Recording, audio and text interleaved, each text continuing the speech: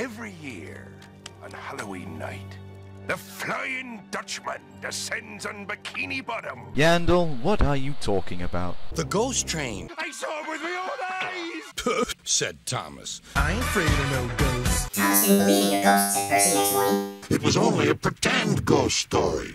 Percy was disappointed.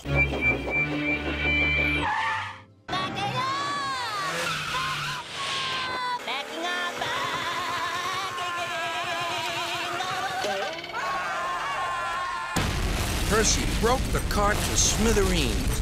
Lime flew everywhere. People will think he's a ghost. I ain't afraid of no ghosts. We'll see about that. Toby promised to help. Percy's had an accident, cried Toby. It, it look, it look, it, Uh, but the bandit did. Hello, Domino's? We're sorry, but your kind isn't allowed here. What do you mean you're not open? Leave me alone. I'm making me ramen noodles. I'll chuff and I'll puff and I'll. Burn your house down with the lemon! oh dear, exclaimed Thomas. The house is on fire!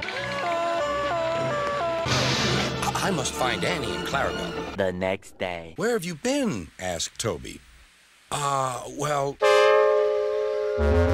Percy. Gone too far this time. Now the animators are gonna have to draw all this fire. It's like a town in here. And I, uh, Wait. Meanwhile, What a.